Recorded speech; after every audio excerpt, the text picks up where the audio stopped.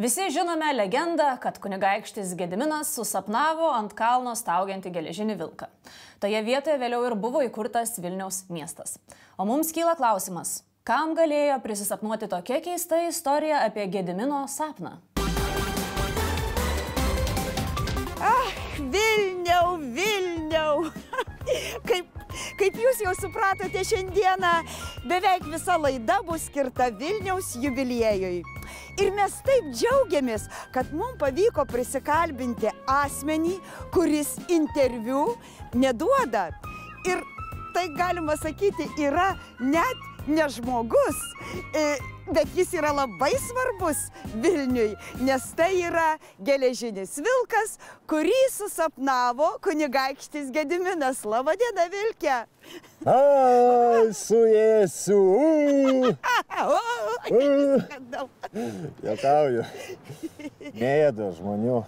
Net jeigu jie turi ir oranžinį kepuraitį. Va, va, va, dėl to ir nesidėjau raudonos, nes galvoju, oi, čia gali visko būti.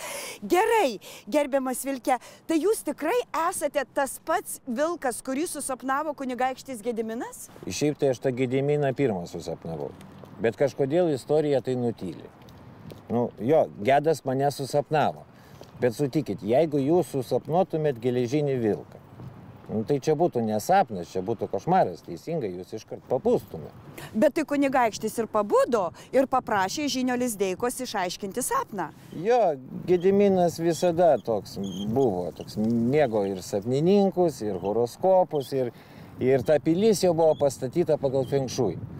Jis net po krikšto šitais dalykais tikėjo. Tai geležinis vilkas ne veltui yra Vilniaus simbolis. Žiūrėkit, dabar truputį istorinio teisingumo. Šiaip tai aš esu plieninis vilkas, negrina geležis. Su anglim maišyta, tai chemiškai žiūrint, aš esu plieninis vilkas.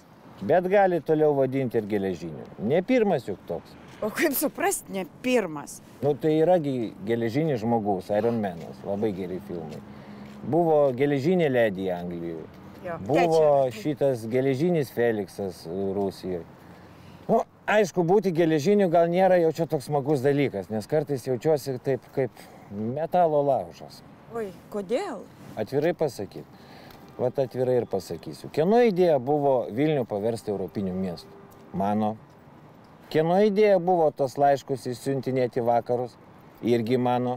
O kokio įvertinimo aš sulaukiu? Na ką, jūs jūsgi garsus, visi žino, kas yra geležinis vilkas. Nu tai visi žino ir kas yra geležinė lapė Facebook'e. Nu bet mano nuopelnai sutikit didesni. Tai jūs norėtumėt daugiau įvertinimo. Aišku, norėčiau.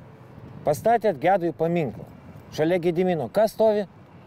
Kas stovi šalia? Nu, Metalinis arklys stovi.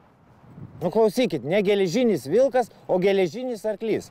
Tai ką kunigaikštis susapnavo?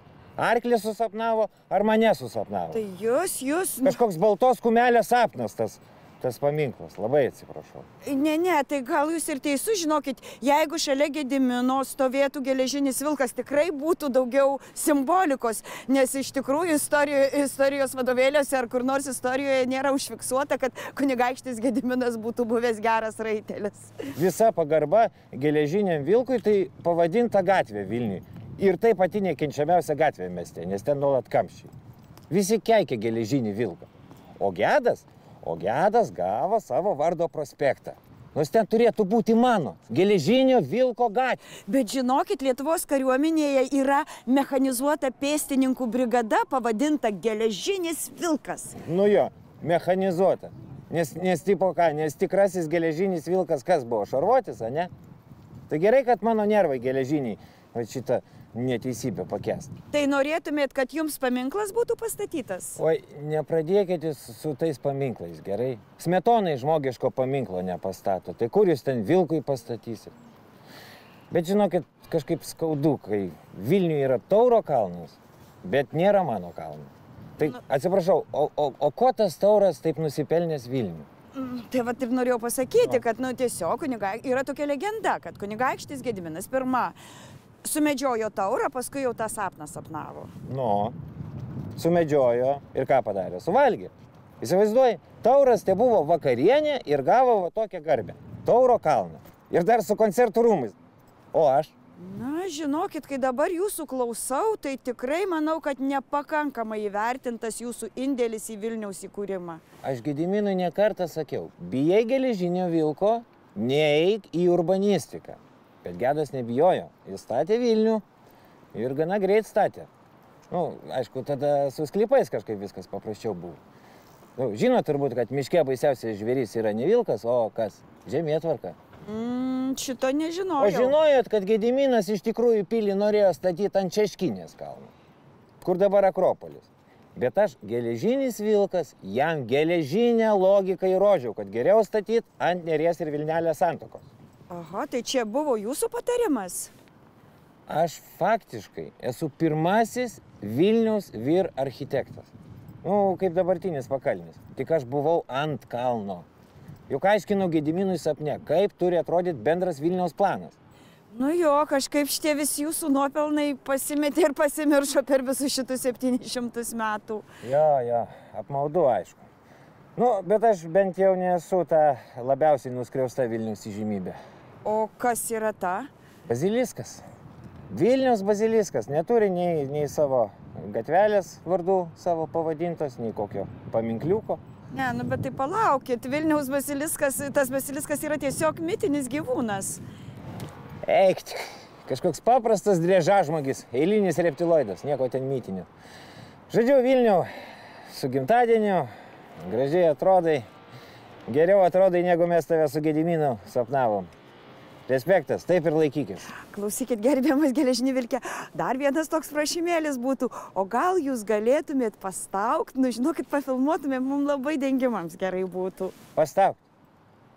Taigi aš geležinis vilkas, o ne laukinis. Mieste stau. Biški pagarbos gal. Gerai, varau pas Baziliską. Žadėjau aplankyti, vakare balius. O ką, dar kartą su jubiliejum. Laikykis. Jo, nu koks fainas žmogus tas vilkas, koks. Gerai, jūs grįžkite į laidą, aš gal biški varysiu su vilku, gal Basiliksa. Vilkė, palaukit, gal galiu ir aš kartu su Basiliskom susipažinčiau.